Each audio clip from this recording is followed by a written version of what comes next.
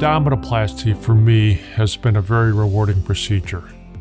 Something I really enjoy doing and it really makes people happy.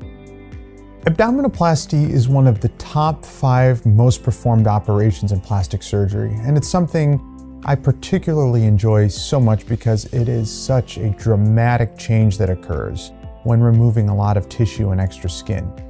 By using my own innovative scar reduction techniques and overlapping tissues at the site of the incision, I'm able to consistently achieve a hairline abdominoplasty scar that is flat rather than depressed and is always hidden below the underwear or bikini line.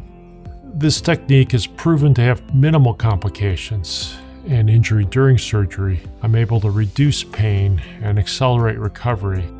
And I also combine this procedure with liposuction of the surrounding areas like the flanks or the back.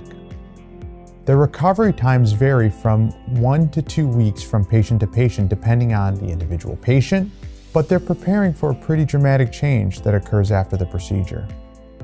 I find that after the procedure, the people's confidence really soars through the roof because they feel just like a new person. This is a procedure that sometimes we can exceed patients' expectations, that significantly improves people's mood and outlooks.